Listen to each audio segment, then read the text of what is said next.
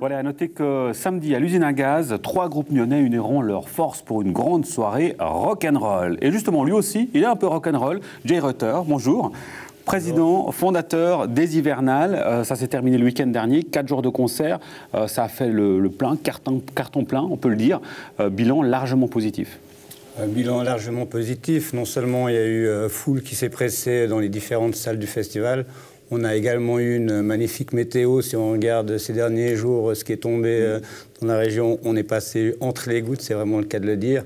Et puis surtout, il y a eu une superbe ambiance à travers toute la ville, puisque les gens se sont promenés plutôt avec un smiley sur le visage. Mm-hmm. Donc c'était très agréable. Une bonne partie des concerts gratuits, c'est qui explique aussi cette affluence. Il n'y a pas de chiffres sur, euh, sur l'affluence pour des raisons logistiques, en fait Alors on a, on a sorti un chiffre quand même de 5400 festivaliers cette année. C'est clair qu'avec le off, c'est toujours un petit peu compliqué de calculer exactement mm. le, le, nombre de festivaliers exact, Mais on a remarqué qu'il y avait aussi euh, de plus en plus de Nyonnais qui venaient et des Nyonnais de toutes les générations, puisqu'on mm. a eu euh, des soixantenaires et septentenaires qui venaient, ben, on l'a vu peut-être un petit peu dans le reportage au début, on voyait bien qu'il y avait une tablée de gens qui avaient plutôt la soixantaine. Il n'y a pas d'âge pour les mélomanes ah, On est complètement d'accord et on a vu par exemple des familles qui se sont pressées à la silent party le samedi. C'était assez magnifique de voir un papa, une maman et leurs enfants avec des casques sur les oreilles en train de se déhancher. Alors justement, les nouveautés cette année, c'était la silent party qui a bien marché.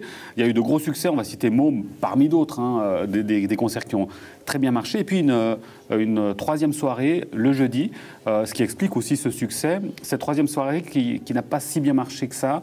En revanche, c'est peut-être le point, le point noir de, cette édition. Alors, je ne peux pas dire qu'elle a si bien, pas si bien marché. Je pense qu'elle s'est pas mal débrouillée pour une première. elle doit faire sa place. Elle doit faire sa place, c'est ça. Mm. Euh, on avait prévu de mettre deux concerts en se disant justement qu'une soirée avec trois groupes, ça allait faire trop tard et puis que ce serait encore plus compliqué sans doute pour les festivaliers de venir.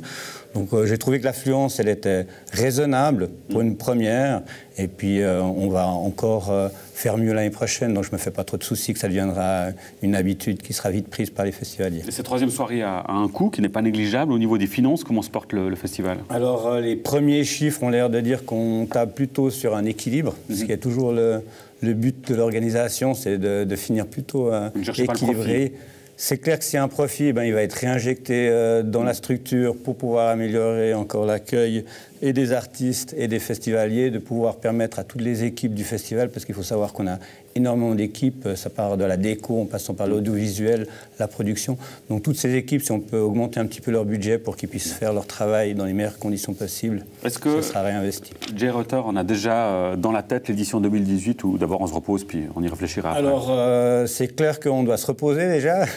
Mais euh, oui, on, est obligé d'aller de l'avant. Il va y avoir euh, tous ces chiffres qui vont devoir euh, nous dire où on est atterri pour cette édition 2017. Mm. Et puis on va devoir rapidement plancher sur la 9e. Mais on a déjà en ligne de mire la 10e qui sera en 2019. Donc on cogite déjà sur la suite. Déjà maintenant. Merci beaucoup, Jay. Rendez-vous donc en 2018 pour la prochaine édition de ce Festival des Hivernales. À bientôt. Merci.